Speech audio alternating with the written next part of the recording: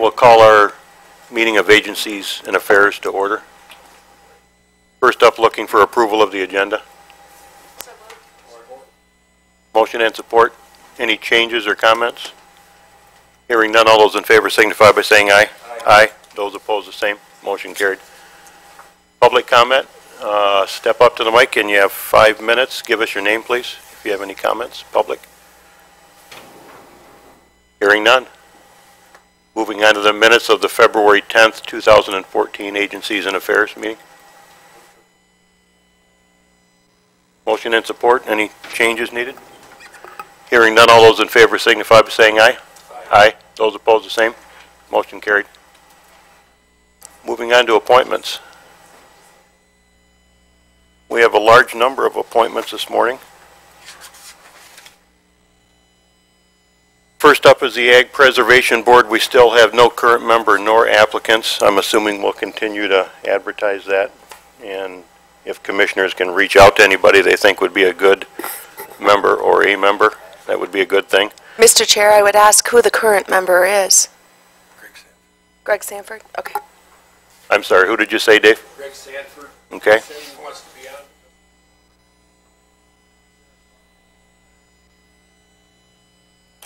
Maybe our administrator or deputy administrator can reach out to him and also make the change to reflect that he's the current member.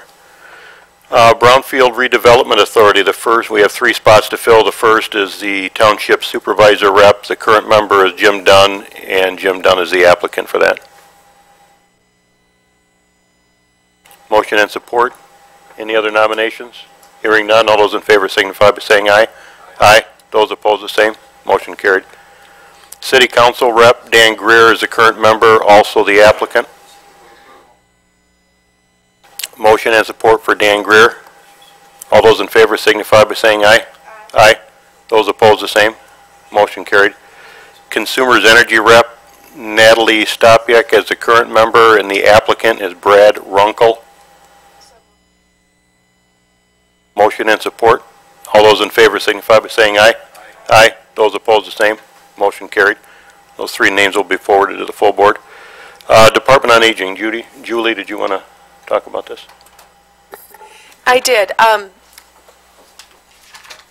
we appreciate all the, in- while we appreciate all the individuals that repeatedly apply, I would just like to, I would like confirmation that of the seven that um, are current members, that all seven want to continue on, as there are only two applications that were completed and in our packet.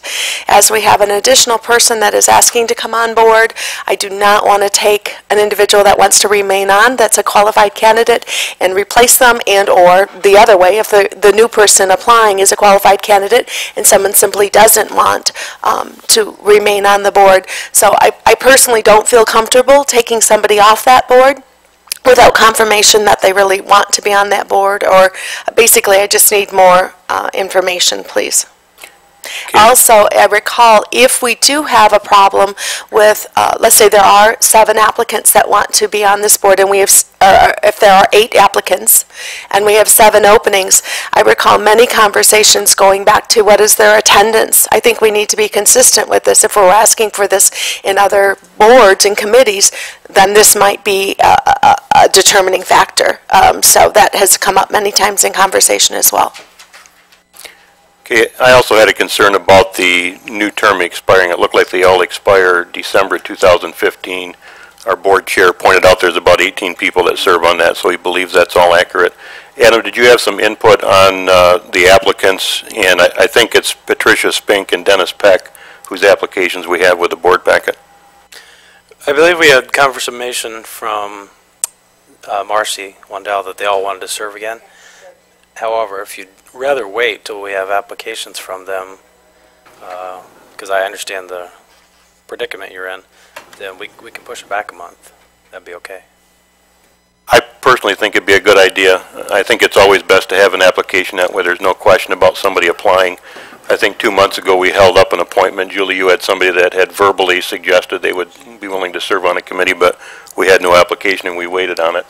Um, And it also would give us a chance to see the attendance records because we do have eight people for seven spots. So if the committee is willing, I think we can hold this over till next month would be a good idea. Does that, uh, Motion? well, one more question. Does that disrupt anything, do we think, for Department on Aging, Adam, or not? And then I'll give, Well, the, the policy is that they continue serving until they're, Until, uh, somebody's appointed. reappointed or they withdraw themselves. Carl, did you have a question down here? Yeah, just to comment on Patricia Spink, uh, she's been in Florida and will be in Florida, but um, when she did leave, uh, she indicated that she certainly wanted to continue on, so just to let you know that. Yeah, she's one of them that we do have an application. So Dave, yes, we are looking for a motion to hold it over.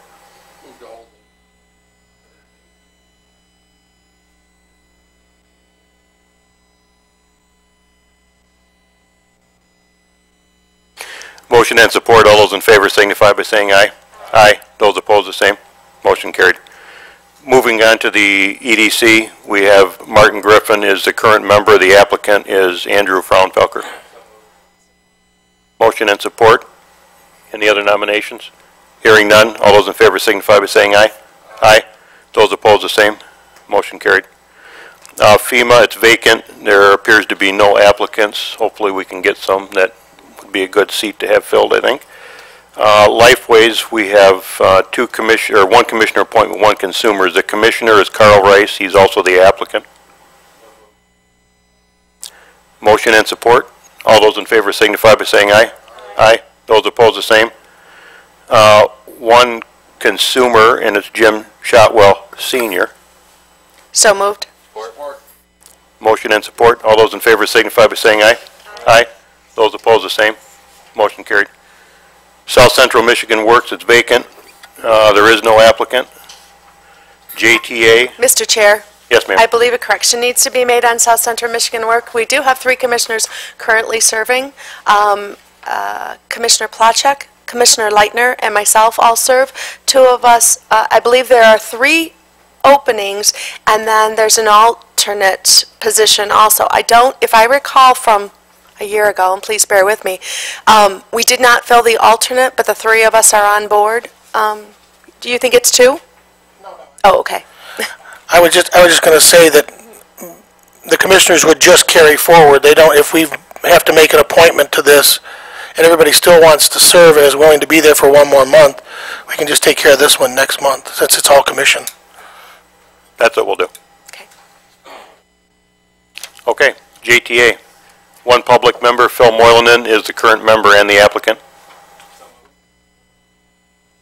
All those in favor signify by saying aye. Aye. Those opposed, the same. Motion carried. Veterans Affairs, uh, first position is Robert Sales, the current member and the applicant. Motion and support. All those in favor signify by saying aye.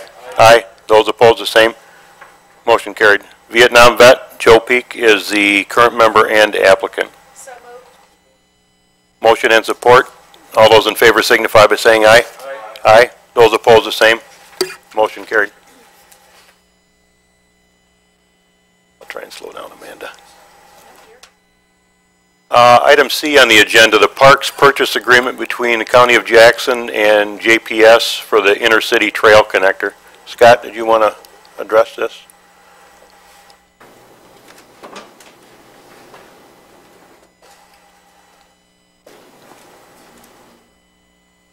Good morning, Chair and Commissioners. Um, We have the opportunity uh, to make final connection between the Intercity Trail and Sparks Parks.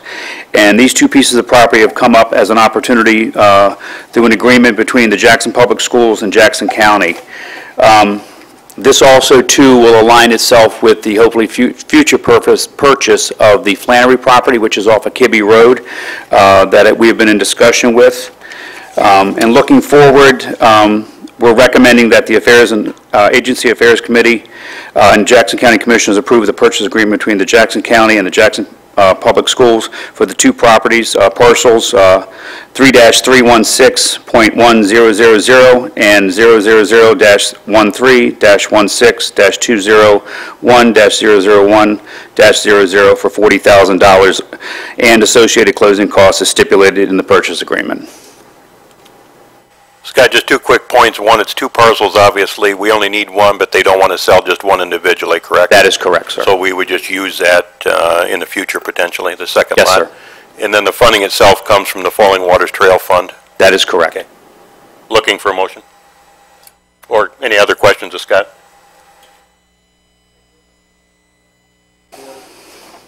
Motion and support, questions or comments? Hearing none, all those in favor signify by saying aye. Aye. Those opposed, the same. Motion carried. Thank you, Scott. Parks, Cascades renovation request. Uh, Once again, uh, in the study session, we talked about the opportunity to move forward with the Cascades renovation project. Um, It Obviously, in the the past history has been such that we uh, had Spicer Group come in and give us an inventory of the needs of the renovation. Uh, Then an ad hoc committee was created to kind of go through the process of the best way to do that. Um, what I'm asking for today, or we're asking for today, is to engine, uh, to engage an engineering firm uh, to begin the demolition and site restoration drawings for Phase One of the Cascades renovation project, uh, and then to seek non-county funding sources to cover the remaining Phase One cost. But more importantly, and and very importantly, is to begin the process to identify a champion, and that champion would be somebody that would lead uh, the opportunities for funding uh, and um, uh, both uh, non-count- non-county funding, whether it be through corporations or other sources, but this champion needs to be someone that knows the public, knows the process, and uh, can see the process all the way through to completion for the entire renovation, which we're looking at right now at nine and a half million dollars through the process. So what I'm asking for, or we're asking for, is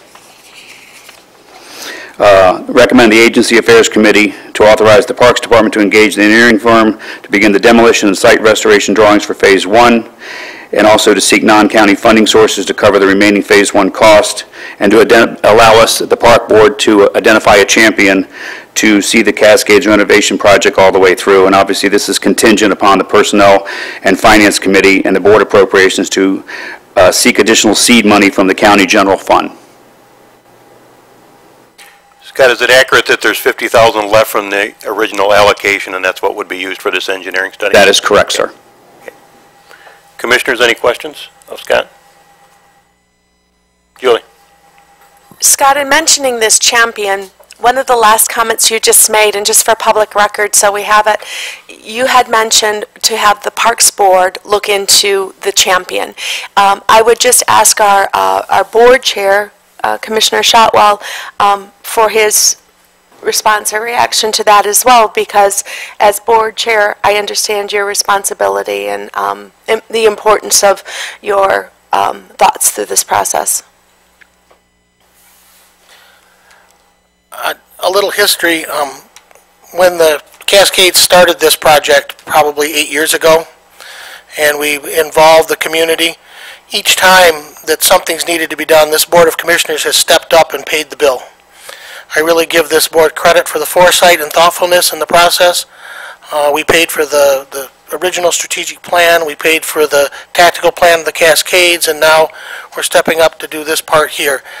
I believe that a partnership through the Cascades Parks Board, or the Jackson County Parks Board, and this board is appropriate and responsible, and I will be speaking with the Parks Chairman about uh, the best path forward, and he and I have a couple of people in mind we'd like to propose to both organizations uh, as a, as a possible champion.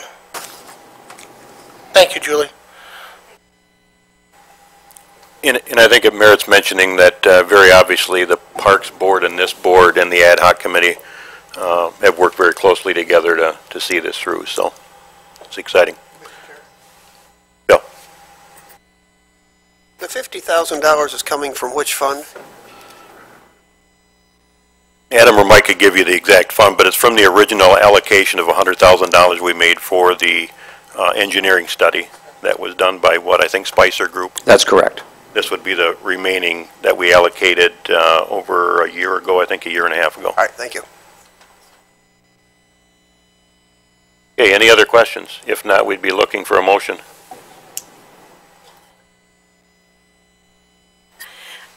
I move that we move these requests to the full board. Motion and support. Any other questions or comments? Hearing none, all those in favor signify by saying aye. Aye. Those opposed, the same. Motion carried. Thank you. Thank you, Scott. Thank you. Fair Master Planning Request. Uh, Yes. As discussed in the study session, over the past three years, the uh, Fair Board has been in lengthy, lengthy discussion as it relates to an opportunity to take the fairgrounds to a different level, and that requires us to consider a a master planning process. Um, So what we are asking for is an opportunity to move forward with that, and we, along with myself and Denise, are recommending that the um, the agency affairs allow us to appropriate funds for the Fair Board to engage in a master planning process for the fairgrounds. It also, too, aligns very cleanly with the upcoming recre- joint recreation plan that we're working with the city on to be able to submit to the state at the end of this year. So both are hand in hand in the process. Denise, any comments? Nope, you covered it, thank you. So we're looking for $50,000 for that opportunity, up to, excuse me, $50,000 for that opportunity. Commissioners, any questions? Commissioners, any motions?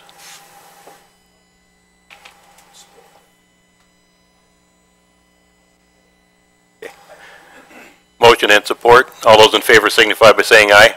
Aye. Those opposed, the same. Motion carried, and this goes to the full board. Thank you. Thank you very much. Uh, Fair semi-annual report. Denise? Hi, good morning. How are you? Good morning, Chair, wherever you went. Good morning, Commissioners. Um, I have a PowerPoint, I think, don't I? Okay.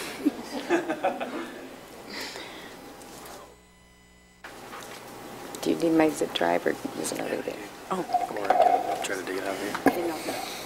I. I apologize.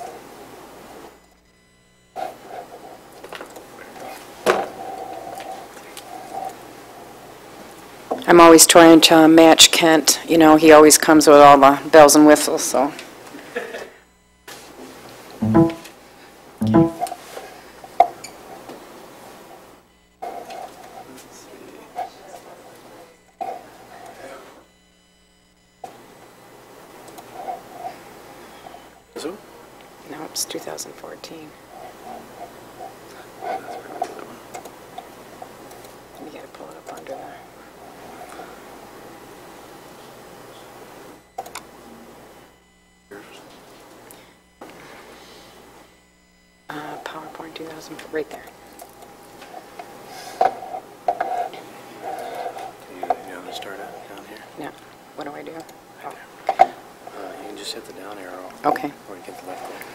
Here we are. Sorry. Um, well, good morning. And, you know, we're all happy because the weather's a little nicer today.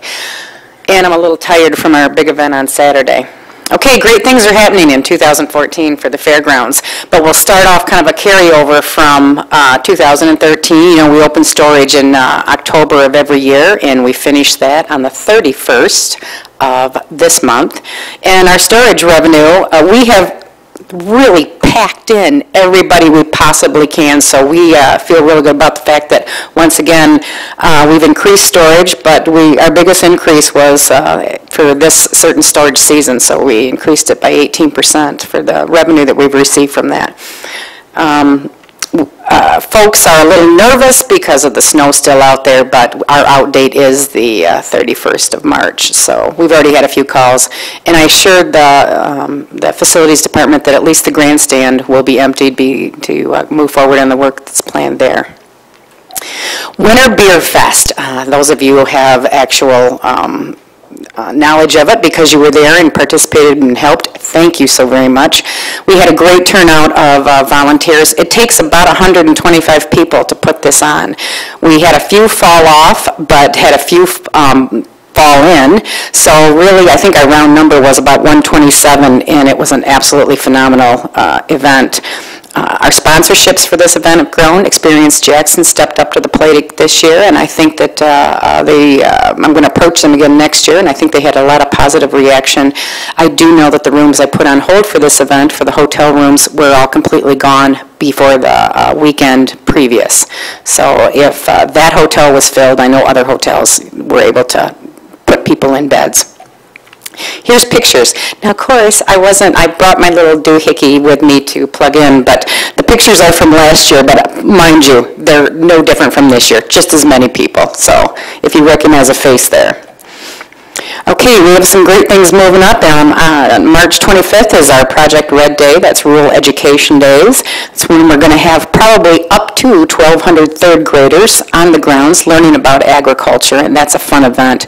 We are hoping that we can get the snow piles out of the way in front of some of the barns that they're going to be utilizing, Uh, but we expect to have, um, again, a big turnout for that, and it's a lot of fun. And that, that organization, which Commissioner Lutchka uh, is involved in too, that takes a lot of volunteer help to get that program going. The upcoming events, I'll be very quick. Uh, I don't know if you want me to read this, but the Gem and Mineral Show, which is this weekend, uh, the Home Builders following that, but we have everything from blood drives, the Antique Fire uh, Apparatus Show. This year new is uh, AKC Kennel Dog Show that is going to be a three-day weekend event. Uh, We have signed a five-year commitment with them to have this event. It's the first time it's been in Jackson uh, Fairgrounds, so we're really excited about that. Then our community flower and plant sale, which is uh, um, a uh, warm fuzzy for the chairman. He's very involved with that. But we have circuses, flea markets, the Kids Fest, uh, car sales, craft shows, a lot of private rentals. We know we do a lot of uh, weddings at the American One and at the Blackstone Activity Park Building. The Teen Idol, Death Row Derby bouts. The Derby girls are back, new name, new company. Uh, They've got three public bouts that they'll be doing this year. Uh, A group of really nice girls, and uh, they practice two days a week in our American One Event Center. And then, of course, we round out the uh, year with a Nightlights Christmas Drive-Through. But we are in the midst since October, getting ready for fair. We did just make our first announcement, which was uh, our country concert, Alabama, which we are very, very happy with the way ticket sales are going. We came right out of the gate shouting, so we're, we're excited to have that uh, coming to the fair on Sunday night, August 3rd. Uh, We will again also be having that, we've committed to our tractor pulls, our rodeo, a monster truck show, the demolition derby and dural racing, and we hope to be making our final concert uh, announcement in the coming weeks. And that is it. If, I'm open to questions. Julie?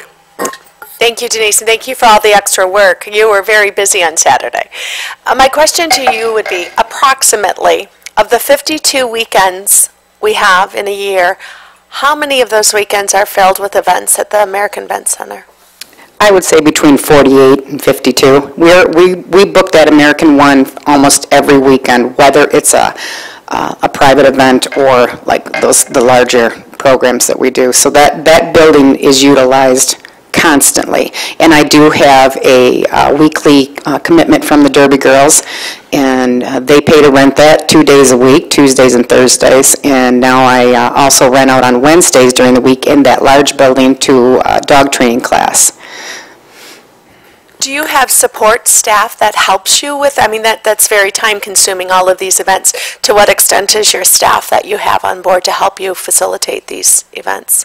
Um, Well, you're looking at a full-time person, but uh, I do have a uh, part-time person who's our ground superintendent, and unfortunately, we have to be very, very, very careful because of the snow this year. We've had to utilize a number of hours of his time, and he is, uh, you know, a key person to prep the grounds for fair. So there's, there's like one and a half, me and him. My mother has helped out a couple of days. Dave?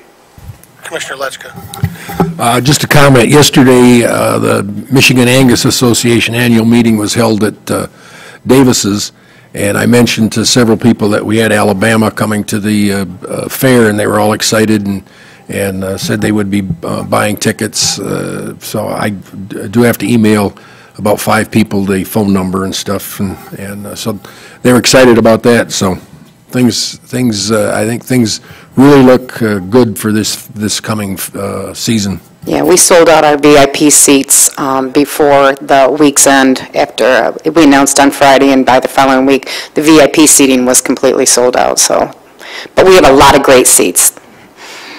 Dave? Denise, the American One Fair Event Center, doesn't American One assist you with uh, coordinating the, the rental of that facility also?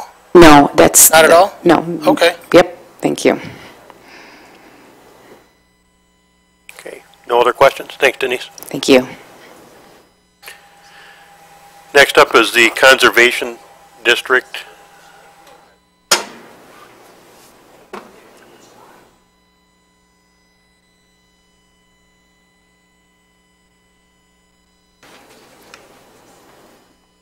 Uh, Good morning. Good Morning. Um, You should all have my report. I don't, I'm not going to read the whole thing. I'm just going to touch on a lot of things that, that we've been up to. Uh, Currently, right now, we're, our spring tree sale is the big thing. Our numbers are, at this point, are up a little bit from where they were last year, so hope, hopefully we keep that trend up.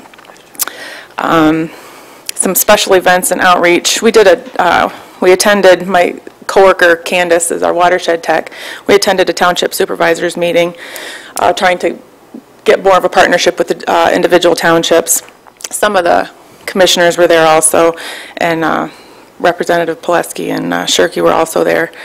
Um, And we spoke about doing, a we have applied for a scrap tire grant, which I'll talk about a little bit later, but we got a lot of interest from the townships um, uh, in partnering with us for that.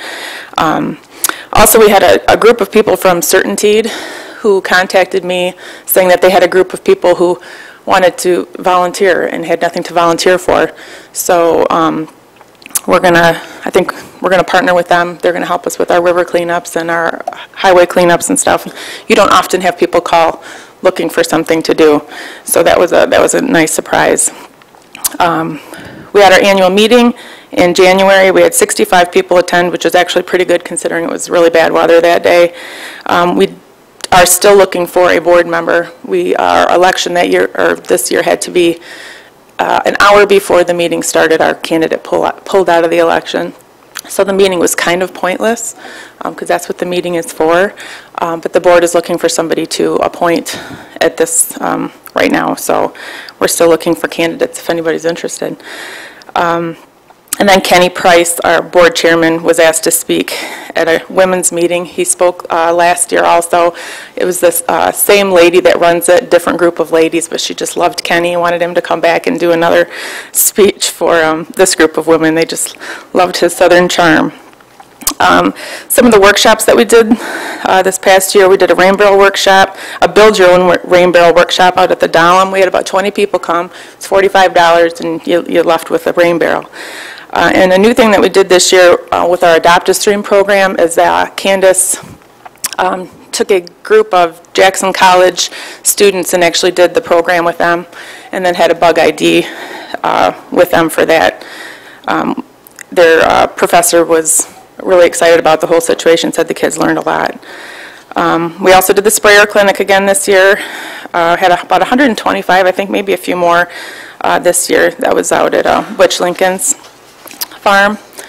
Um, And we had, since the last time I was here, we did three, three river cleanups. Um, We did one with the Grand River Environmental Action Team, uh, Hillsdale Conservation District, and then we hosted our own last October. Um, So we cleaned a lot of river this past summer. Um, For our Adopt a Stream program, we had a fall collection where we had 35 volunteers, and our winter stonefly hunt, which was uh, February 16th, we had 19 volunteers. Uh, As far as our current grants, we still hold our um, Upper Grand River Bacteria Reduction Grant, uh, where they're working in Rives Township um, f- uh, for E. coli in the, in Elborough Creek. Uh, We still have our Hunter Access Program grant. Um, We we did lose one farm this year that was enrolled in the program, but we gained another one, so we still have about just over 400 acres enrolled in Jackson County for that program. And our monitoring project grant just ended in December 2013.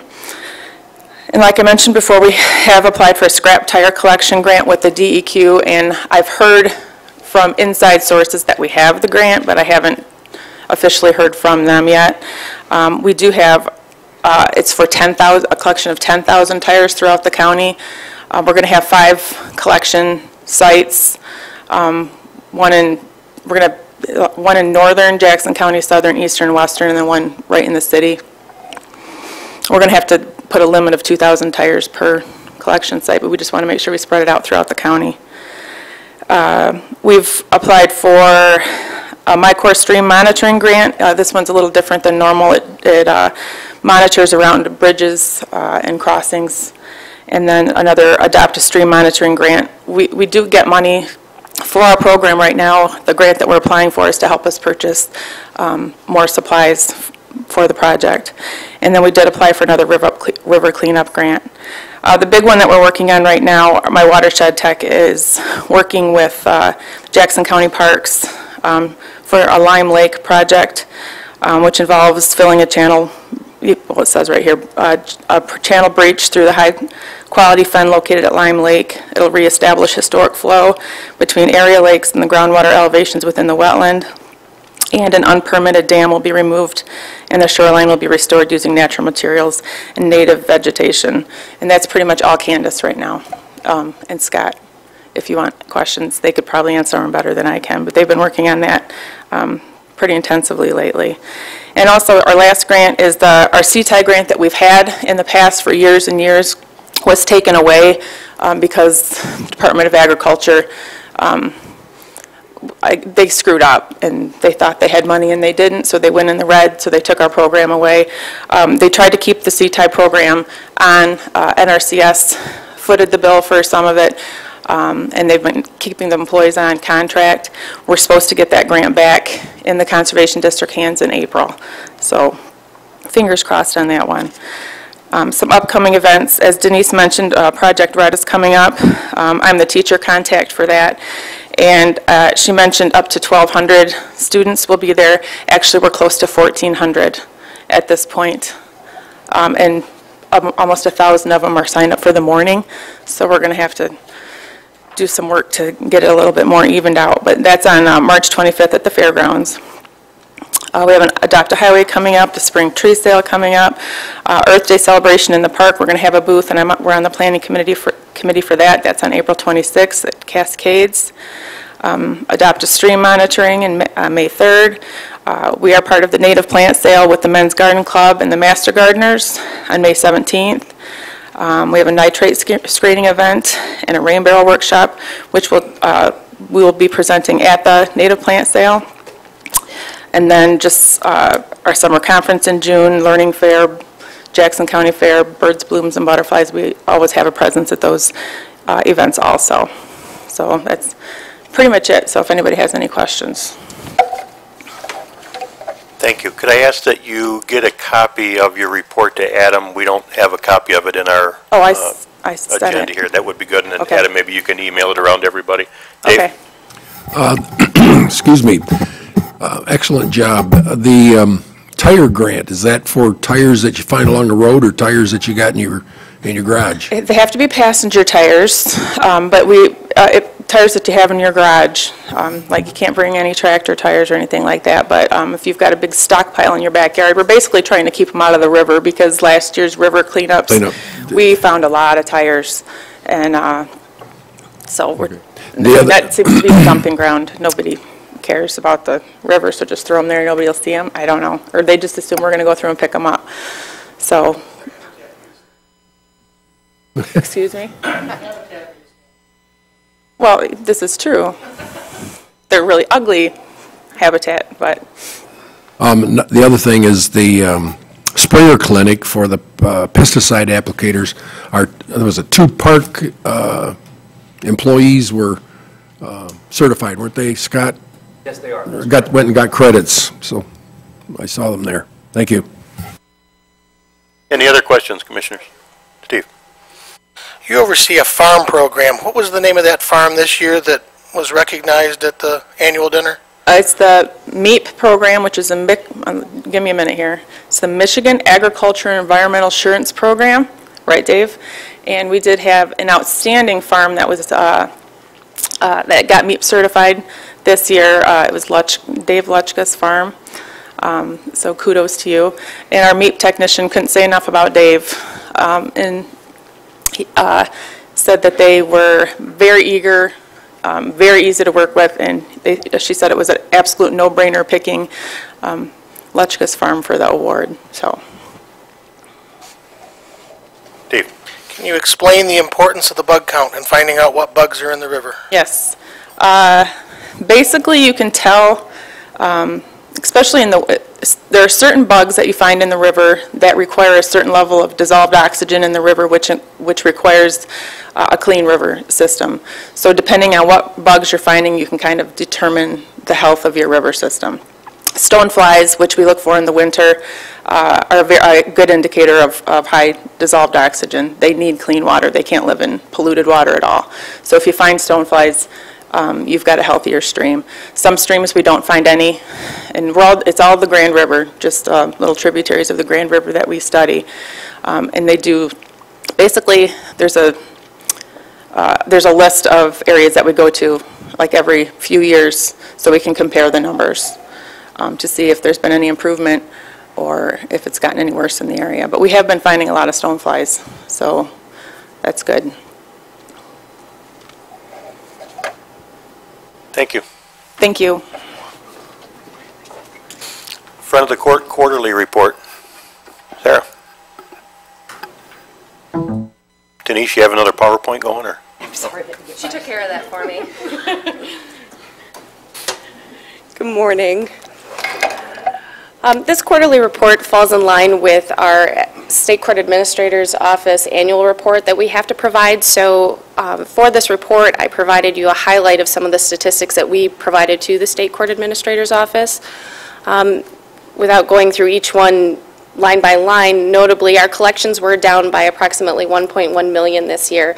Um, That is consistent with the state collections. The state as a whole has decreased our, decreased collections. A lot of that has to do with um, parties' unemployment running out, the tax benefits that we were seeing the last couple of years aren't coming through, as well as um, some IRS fraud that's going on um, for tax return recipients. So that that isn't surprising to see that that's down. Um, It's not as down as much as other counties and the state as a whole, but it is down.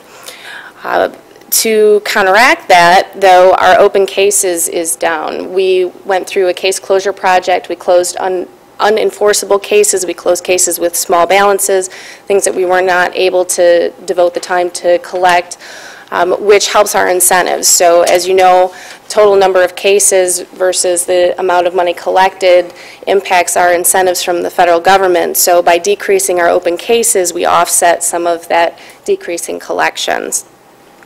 Notably, too, we increased our support reviews um, that we completed this year by over 200. That's a, a huge amount.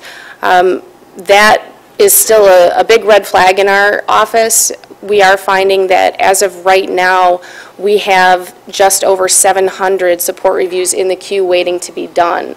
So it's the beginning of the year and we've already reached that, that large amount. So people are asking for support reviews. They are needing their support orders changed and we're trying to, to keep up as quickly as we can. However, the volume is, is incredibly high right now.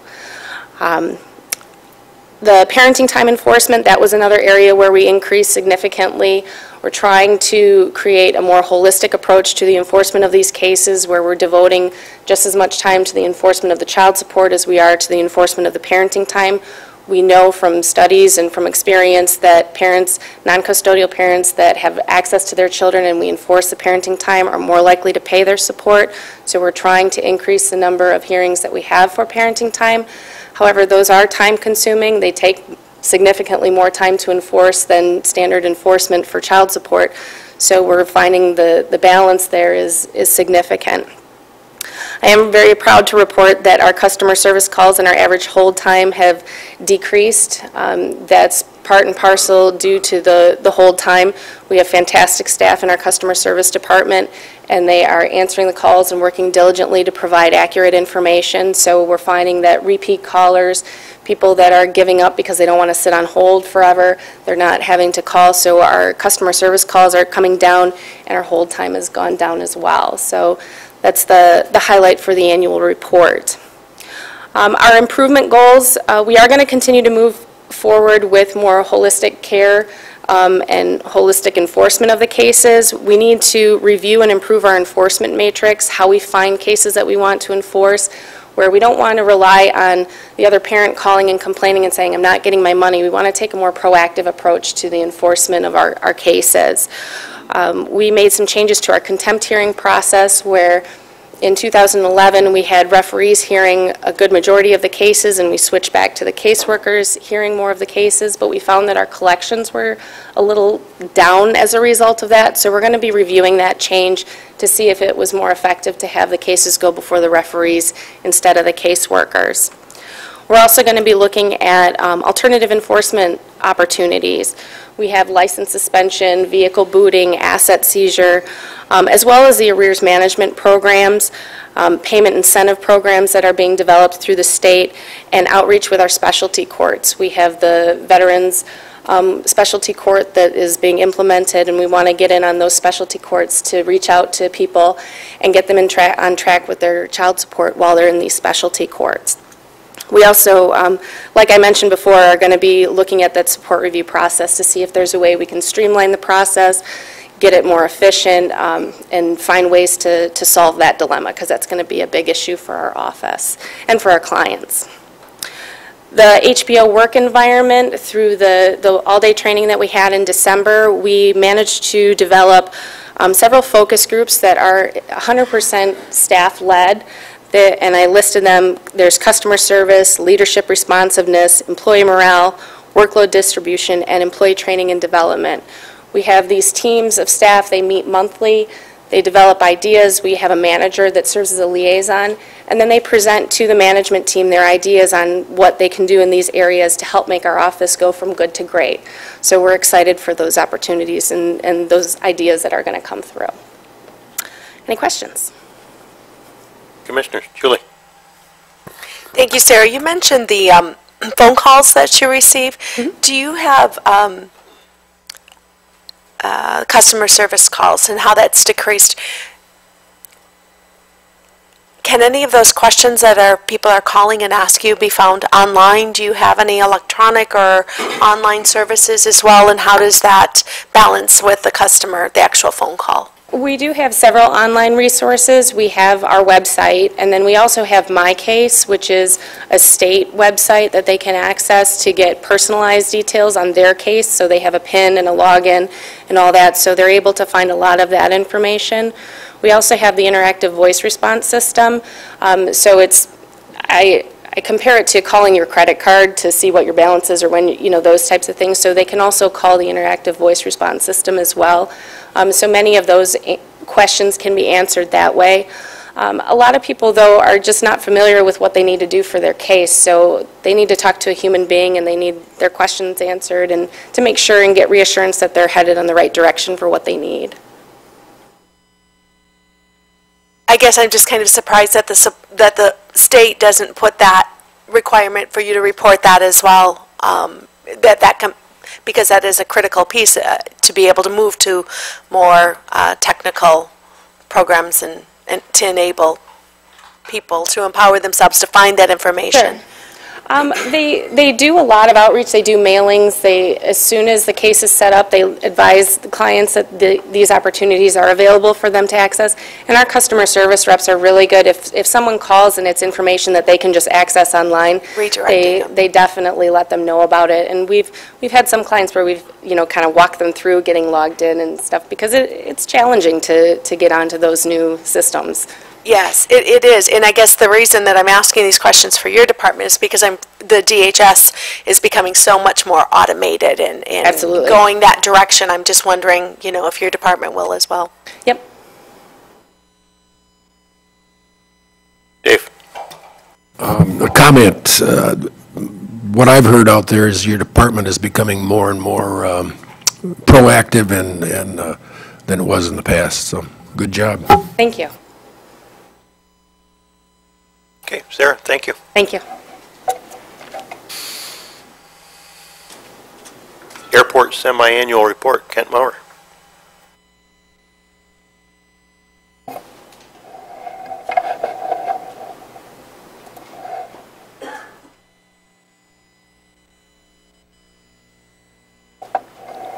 Thought I wore out my PowerPoint welcome last Friday, so I would do a PDF presentation this morning. But It's just going to center on the annual report, which I believe you have in front of you, and I just wanted to highlight a few things about that. I guess the theme, um, as the uh, board chair has pointed out, is really thanking the people that support the airport operations and long-term planning. Uh, It really is a matter of relying on others. The airport staff, I think, enjoyed, Josh and Joe, their second weekend off in the last eight weekends, this past weekend. Um, The dedication of those two is remarkable. Um, I think I get there early now, usually as early as I did 10 years ago, but they're already there and um, did a remarkable job of handling a, almost a record volume of snow. And this report is put together by Pat, and it- it's a labor-intensive report. We've done it since I've been there, and it does, um, I think, serve a good purpose of not only updating people what's happened in the last year, but it serves as writing our history. And we only write good news. So if somebody researches 15 years from now the history of the airport, it's all good news. I have had people um, who are either a private airplane owner looking for a place to locate or a business, and they go to our website and they read these things. And it does give you, I think, the flavor of the airport, or at least um, um, a snapshot of the airport. And they've said that they've used this in part of their decision-making process. Uh, We have our own special events. They don't compare to the 48 or so that the fair has, but um, there they are. The Conservation District will be out in April. Uh, The March event is is fluid at this point. Um, It's not sure that the artist will be there to uh, help dedicate the German aircraft that's out front. The annual Pancake Breakfast is back on Memorial Day weekend this year. Uh, They moved it around. They tried having two.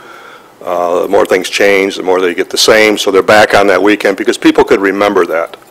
So it's a great event, um, great breakfast. Blues Fest will be back in June, and then, of course, the MIS races um, are here, and something has just happened to my PowerPoint. Um, Runway and taxiway incursions, that is a big deal. That's where someone goes onto a movement area, which would be a taxiway or runway without authorization. Even our maintenance vehicles, even though we own and operate the airport, so to speak, we can't enter into a live taxiway or runway without permission.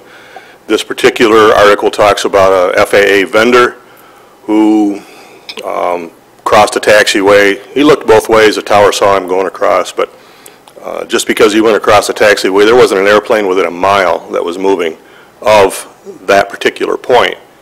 But it is a FAA report and a tremendous amount of um, explaining to do. Carl Boylan, uh, just retired from Consumers Energy, uh, 28,000 flight hours in a helicopter. He started in Vietnam in the late 60s. Um, If things work out, he'll still be there flying uh, for another energy company other than Consumers. Consumers is now contracting out all of their line patrol, pipeline patrol, and uh, power line patrol.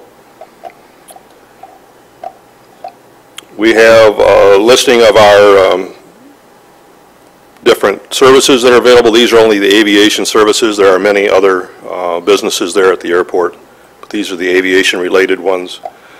Uh, Airport Board meeting schedule in March, uh, and the outreach effort, the Airport Board will be meeting at 6 PM.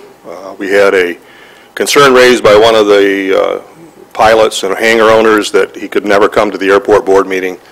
So uh, twice a year, the Airport Board meets at 6 PM, so that's coming up in March. And um, an article about the aircraft, and I need to give a mention, I know Amy just left, but Amy leads the Airport Advisory Council, and that is one of the most pleasant groups outside of the Airport Board that I've ever had the occasion to work with. Um, It's not just pilots, there are pilots there, but Amy brings a whole new perspective to that, and they've done things like develop a marketing plan for the airport.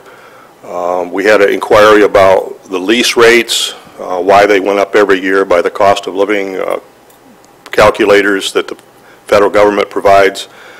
And so we did a research uh, on that and reported back to the airport board. It's a tremendous resource, and they do really good work, and it, and it's a good sounding board and a good filter for me and for the airport board. And then we had the Aviator Monument. I know some of you were able to come to that. That was actually a very special moment. Uh, I'm sorry it did not get videotaped. I thought uh, one of the local uh, news services was going to be there to tape it and did not get done, and that is my bad. I should have um, taped that. It was a pretty special event, particularly the photo there with the missing man uh, formation of the aircraft T-6s uh, during TAPS. And if you weren't affected by that, there's, uh, I would be surprised. That was pretty powerful.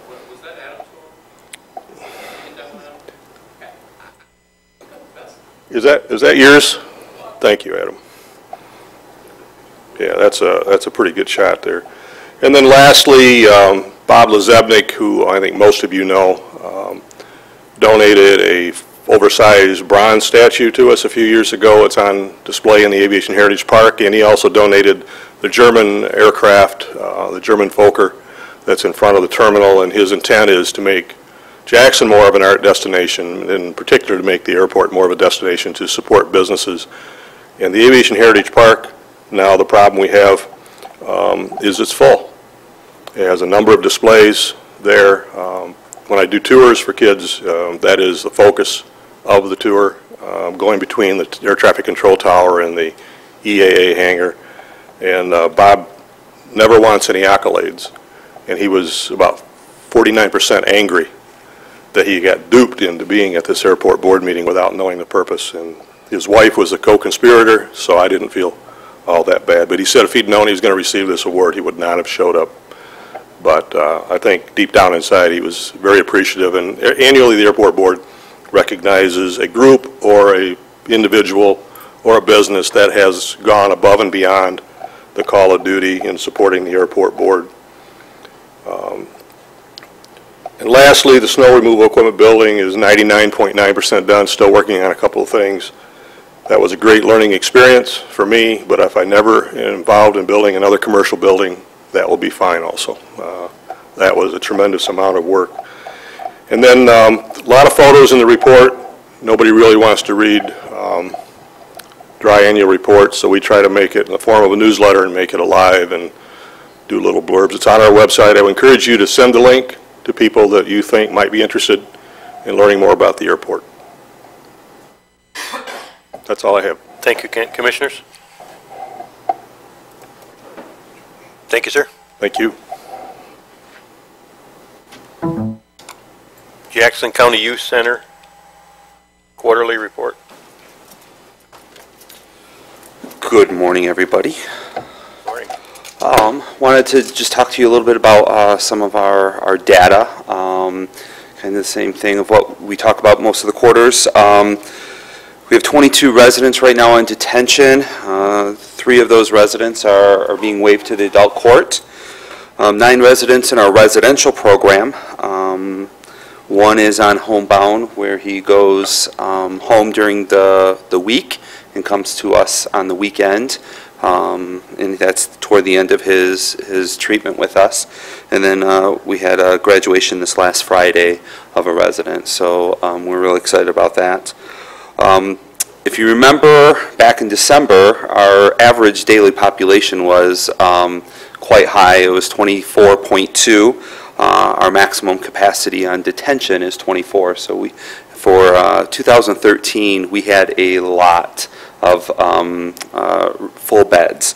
However, right now, our our average is 19.8, so we've uh, had a a little lower than where, um, where we were last year.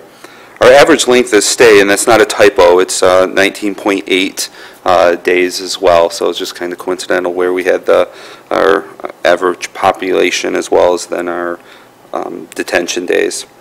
So far, uh, this year, we've had 70 admissions, 53 males and 17 females.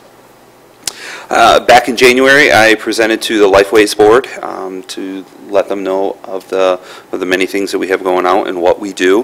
Um, We are also uh, collaborating with Integro, where they will have uh, a therapist out at our site 20 hours a week and providing um, various services for our residents, but really becoming ingrained into the culture of what we are doing there so that they can see um, uh, help us understand some of the things that we are, as we're working with some of the residents, and if we're, and, and as we can be collaborative, working together and um, giving the services uh, to the residents.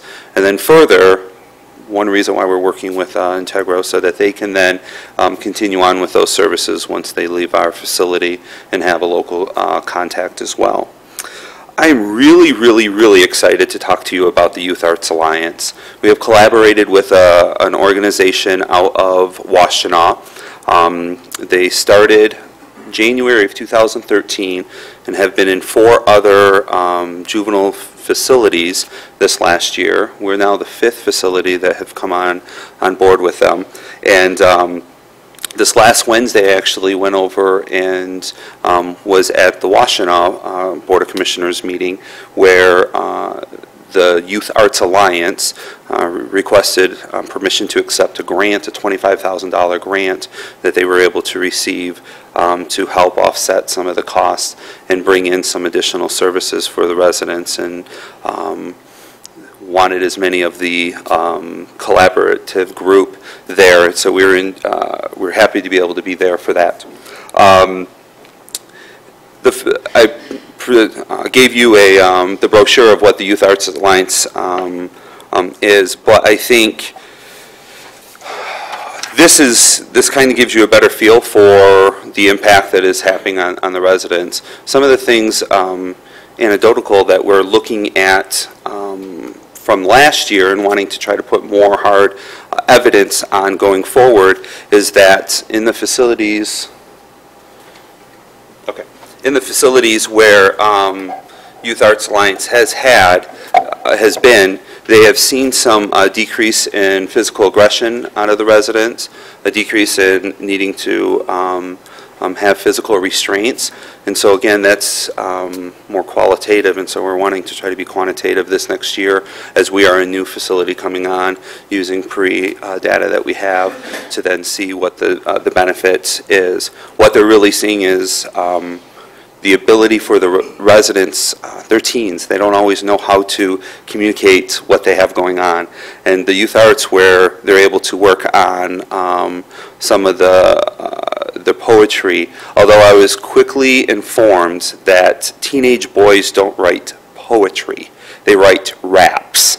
And so I'm going to read to you a rap here um, of one of our residents. It's uh, Ya Time. Youth Arts Alliance, YAA. Chillin' in it's probably the best part of the day. So I just gotta say I'm happy I made it to this day. We sit and snap, we don't never clap. They let us rhyme and rap, and if you think it good, then you snap. Shout out to Heather, Margarita, and Brecken. The three of them together makes this program better. At 6:30, I know it's time to rock. By the time it hits 8 o'clock, I don't want to stop. I wish I could rewind time so we can do it again, but until next week, I'll see you later, my friend. But one last thing, shout out to Ya, they helped me make it through the day. So again, it's just an opportunity for them to try to express some of their, their, their feelings. Um, There's theater part of this, uh, this grant that we're having, um, starting next Sunday. We have a group out of Toledo that's coming in, and they're going to be working on um, It's, it's a recording studio, and after 12 hours, I, um, the plan is for them to be able to have a recorded uh, bit um, of music for, for the residents to being able to express. Uh, A mosaic and a um, mural we're going to be looking at throughout this summer to be um, creating as well. I have some art, if you don't mind, can I show, you- submit to you guys to uh, look at? Motion to receive? All those in favor signify by saying aye. Aye. Those opposed, the same. Thank you.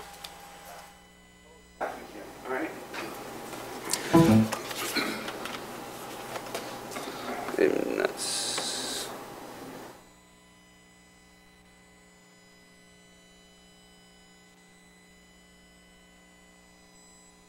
it's, there it is. This resident um, has drawn, but up until two weeks ago had never done any painting. And um, by the, the work of the the facilita- facilitators um, just really helped her capture understanding different colors, understanding how uh, color, um, this is outside of my realm, but color palettes maybe, um, work together, is what they were telling me. So just, um, it's it's an opportunity for her to just, again, express herself with a way that she doesn't necessarily know how. And then here's one of her others.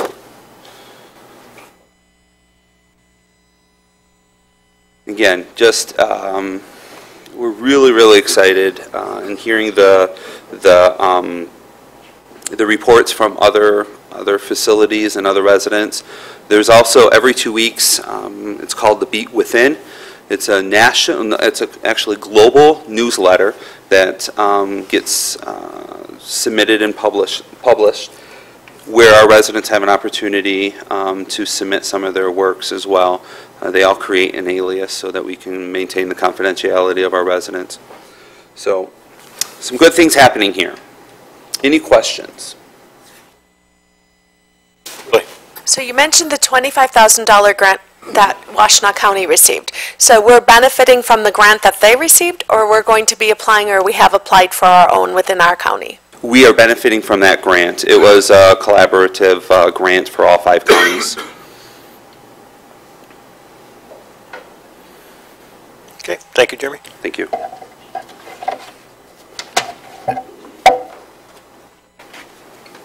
Sheriff, bids for 911 center components.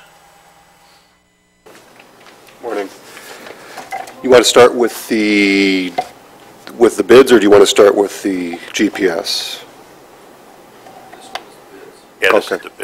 Uh, You have in front of you all of the bids that have been returned. We sent them per county policy out to RFP. They were opened uh, by the clerk at a sealed bid opening the last few weeks, um, separate sealed bid openings. Um, You have in front of you the bid for the console system, radio system from ROCOM. Um, There were some questions leading up. I met with uh, administrator and deputy administrator about whether these bids met the MiDEAL uh, discount, and it actually exceeds it by about $53,000. The relationship we- with ROCOM, uh, they discounted the the product significantly, so we are getting a, a, I guess, pretty decent price on this, on this uh, system. It's recommended that we go with them. They're the vendor that has, for the most part, straightened a lot of the problems we've had out in the county with the radio system, and uh, we're confident they can do the job. We also have the bid for flooring and the bid for the, and that was the only bid, by the way, for the flooring that came back. And we have a bid for the the furniture, the dispatch furniture, which is, as you may know, is specific to dispatching. We're going to have ergonomic stations that they can stand or sit at, and adjustable height and so forth, and will accommodate all the necessary equipment for a dispatch uh, center. There was two bids for that, and this was low bid, but it's also the preferred product that uh, uh, some of our employees and uh, supervisors have reviewed. So I guess I would ask that the, that you approve these projects. Okay, we're looking to send uh, all three onto the full board, which would be the radio portion, the furniture portion, and the flooring portion, unless somebody sees a need to separate it. I think it can all go to the board at once. I would make the motion to send all three to the full, board. Support, questions, or additional comments? Hearing none, all those in favor signify by saying aye. Aye. Those opposed, the same. Motion carried. Sheriff? Next, next item is uh, GPS solution for all law enforcement vehicles in Jackson County. That includes township, villages, city, um, state police is on board. We would not be buying the product for uh, the state police, but they have agreed to, to sign on to it if, you know, as long as, and I think they may even have some equipment that already is in place that works to uh, fulfill the GPS uh, uh, system obligations, we had, really, there's two components to the system. There is the hardware that would need to be purchased for all the vehicles uh, to enable the GPS tracking, and then there's the, the uh, component, the New World component, which would interface the GPS signal into the New World system so that dispatch personnel could see actually real-time cars movement, movement, uh, locate vehicles, it would be an officer safety uh, benefit, and also, uh, after sp- speaking with the vendor last week, they're, they're saying that we can also begin to assign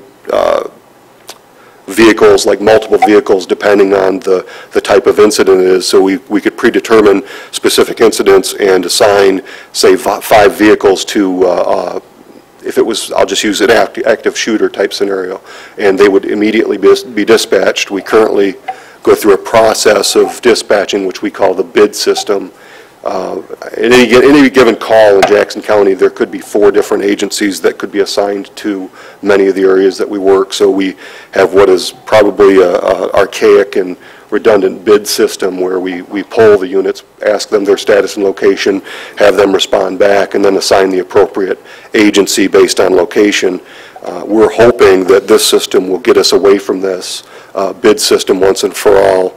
Uh, We tried this, pro- similar product uh, that did not interface well with, with uh, the dispatch CAD system back in 99. We had that in operation for about five or six years, and some, some may recall, I know Chief Elwell may recall, it just, it never functioned like it was advertised, and GPS has come a long way in, in the last several years, and I'm hoping that this will, will get us away from that bid system. It'll re- increase uh, or decrease uh, response time as well significantly. Sheriff, I think you answered one of my questions. I had a concern when I read in the document that the state police uh, were not going to be part of the project, uh, because if they don't have the GPS, it makes it hard to assign the closest car if you don't see them, but you're confident that they're going to participate with their own equipment or something? We, we have an email assurance that they would do what they could to sign on to this product, yes. Okay. Yes. And then, I- I just heard you say something about being able to assign types of calls, that it's not going to change the closest car concept for bidding, correct? Absolutely not. It would not change that. Uh, I, I think our goal here is, is, is to, to try to do a better job of assigning and, and make it less determinations by dispatchers, opening the opportunity for error and, and having an automatic assignment of two units to say a domestic assault or any kind of an in, in progress call and the school shooting type incidents, if, if, God forbid, that were to happen, um, s- assign minimum, minimally five units. Okay, and then I'm curious, some agencies have purchased, I, I think one of the systems you mentioned was TrackStar, to be able to track their patrol cars. Does this do the same type feature, and does it store historical data? And if so, would that data then be available to, for instance, the chiefs from the agencies to I go back and look believe it would. I know there's what, I, I call it Cracker Trail type, where it shows where you've, it it can even, there, there's the potential it could even help uh, officers navigate. So if you aren't from a jurisdiction, uh, you might be able to, you might be able to go across county and, and know your location by viewing what is seen on, same on the CAD screen. So there's a lot of potential there for, Okay, and if that historical tracking is there as a feature of it, that'll be available to the individual agencies to, to view? Absolutely. There, there will be permissions set, though, too. We, we want to make sure that, that there's, you know, you could view your agencies, I could view mine, yes. Right, okay. Yes. And then lastly, I don't know that you have the answer for this, maybe Adam or Mike, but do we know what the balance is in the wireless fund? And are there any planned future expenditures anticipated to come from it? And I don't expect that you'd know the balance. Well, and, yeah, it is, it's 1.1 million right now, uh, assuming the project is probably going to run in total around $900,000 for everything that we've, and keep in mind, this was something on the, kind of the back burner for this project. This is, I didn't mean to surprise anyone by it, but we had to make sure that all the other bids came in where they needed to before we could even entertain a project like this, because this is a, it's, it's, it's a very beneficial product, but it's also not completely necessary, but I think it'll work for us in the long run and help us out. Thank you for all those answers. Other commissioners, any questions on this proposal? How tied into this are we? Are we five years contract, three-year contract? Ah, boy, where's New World, where are we at with New World now? And I brought these guys in case there's any technical school questions you guys might have. We were with New World, in my recollection, to at least uh, 2016. Uh, The problem that we have is that it's a multiple component system, um, functions across all spectrums, corrections, dispatch, uh, law enforcement records. Uh, So to change would be to change everything, and as you recall, when we went to New World back in early 2000s, it was uh, several million um, for the conversion and the product. Uh, Frankly, it functions very well across all the spectrums. At this point, we don't have any complaints. Everything functions very well as I uh, kind of alluded to in the document, that uh, one of the biggest features for New World is that it can track data or call occurrence from the inception of the 911 911 call all the way through an offender's arrest. So it, it follows the trail all the way through. There's lots of companies that offer different components. These offer correctional setting information. These people offer di- dispatch information, but nobody offers a robust uh, functioning system across all the spectrums. All right, with that being said, the Board of Commissioners with the 911 Center, where we're thinking ahead that there might be opportunities for shared services with other counties. How many of our neighbors operate under New World right now, and how hard would it be to convert them if we went with, you know, a shared services environment with another, another jurisdiction? For, this doesn't extend the contract with New World. This is just an add-on, and uh, as you may know, Lenawee has New World systems. Um, I don't believe that Washtenaw does, and then the the counties north of us have their own kind of uh, arrangement going on, so uh, it's, I don't, it's spattered all over the state of Michigan. New World and OSSI are the two big products out there that have the multifunction feature, so um, I don't know if that answered your question exactly. Okay. Commissioner Duckham. Uh, Sheriff, if a car is dispatched to a certain address, does this also pull up past history of calls, so you know? We can do that now. That's, that's already a feature that's available. Any address within a certain range is, uh, is highlighted. For instance, even if I went to your neighbor's house and there was a house watch, you know, that said the Duckham residence is, is, you know, they're on vacation or something, it would alert us so that we would know um, on the house watch that, that any, anyone in that, in whatever the parameter that's set, we would, we would be aware of it. How about past history from a certain residence, if, if it's a frequent, frequent number call? Not necessarily, not necessarily, but uh, some of our, our uh, more experienced seasoned dispatchers uh, usually make officers aware of that. Um, That's another reason why it's great to have some of the local jurisdictions out there, because they always know, because they've been there. Thank you. Any other questions or comments? Not, we're looking for a motion to send this on. Motion and support. All those in favor signify by saying aye. Aye. Those opposed, the same. Motion carried. Thank you, Sheriff. Thank you. Administrator Controller, there, I didn't realize that was the word rescension or the rescinding of the county flow control ordinance. Thank you. I think everyone is aware, has been aware for some time, that the resource recovery facility is closed, no longer uh, turning waste into energy. Um, Been a year-long, hard fight, if you will. This will pre, you know, this will frankly um, bring it all to an end real soon. This is the a request to uh, rescind the ordinance number six, the flow control ordinance. This basically means that trash haulers after April 12th, starting on the 13th, would be able to take trash uh, anywhere that the solid waste master plan allows. And you can see a list of the counties in that. We need to obviously approve that this month so that we can give notice, official notice, to all the haulers, that sort of thing, so they can make uh, other arrangements. Uh, I believe uh, it was discussed on Friday. I suspect uh, uh, some may still have a question or two. Be happy to entertain those. Commissioners, questions or comments on it? Hearing none, we're looking for a motion to send on to the full board rescinding the flow control ordinance. Support. Motion and support. All those in favor signify by saying aye. Aye. Those opposed, the same. Motion carried. Simple enough. Uh, Claims. Uh, Make a motion to pay the bills? Motion and support. All those in favor signify by saying aye. Aye. Those opposed, the same. Motion carried. We have the other minutes, uh, April reporting schedule, and we're back down to public comment. Three minutes of public comment. Hello, public. Please step up and give us your name, and you have three minutes.